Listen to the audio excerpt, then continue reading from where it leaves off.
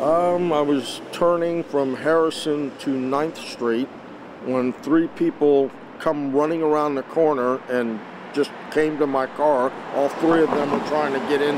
One got in the back seat. One was trying to get in the driver's seat with a gun, pointing it at me.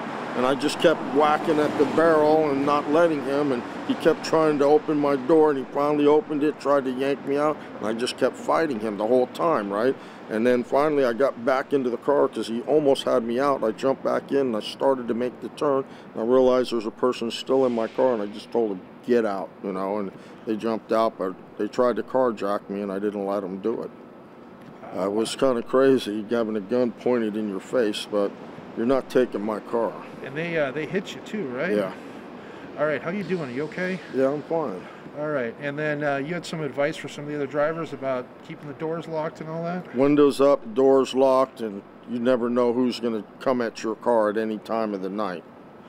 I guess it's nighttime that this is only going to happen when the streets are empty and it's not a whole lot of people. You're going to pull up to a light and they're going to surprise you like they tried on me. But it didn't work out.